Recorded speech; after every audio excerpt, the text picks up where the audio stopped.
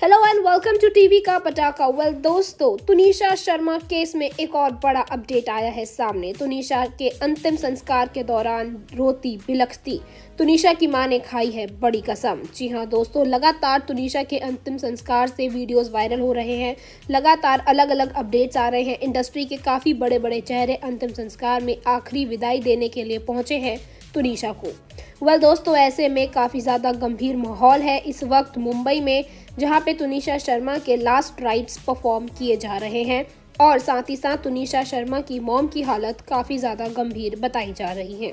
अपनी बेटी को खोने का गम तुनिशा की माँ बिल्कुल भी सहन नहीं कर पा रही। लगातार वो रोए जा रही हैं और बार बार तुनिशा की माँ बेहोश हो रही है। उन्हें तुनिशा के लास्ट राइट्स के बाद सीधा अस्पताल ले जाया जाएगा, ऐसी खबरें सामने आई है। क्योंकि तुनिशा की माँ मेंटली बहुत ज़्यादा अनस्टेबल हो गई हैं और वो अपनी बेटी के जाने का दुख बिल्कुल भी सहन नहीं कर पा रही।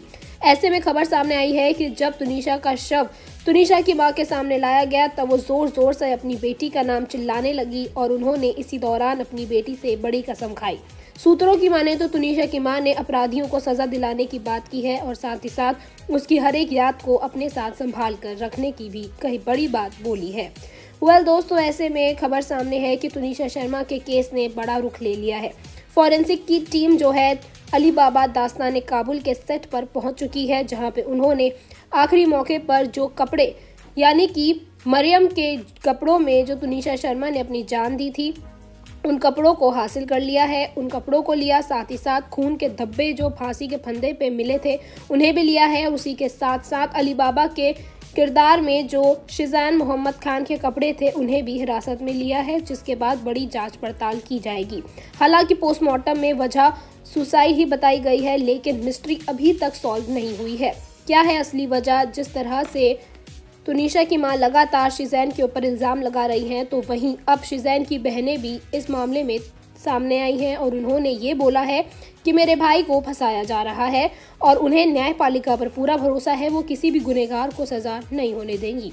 अगर शिजैन मोहम्मद खान के स्टेटमेंट की बात करें तो उन्होंने साफ़ तौर से अपनी तरफ़ से इस बात को कबूल किया है कि वो रिलेशनशिप में थे, उनका रिश्ता था तुनिशा के साथ, लेकिन श्रद्धा वॉलकर केस के बाद उन्होंने सबक लिया और उन्होंने तुनिशा से अपने रास्ते अलग करना ही सही समझा। और तुनिशा ये गम बर्दाश्त नहीं कर पाई, इसीलिए उन्होंने अपनी जान दे दी। असली वजह क्या है? ये जाँच पड़ताल इन्वेस्टिगेशन के बाद ही पूरा मामला सामने आएगा।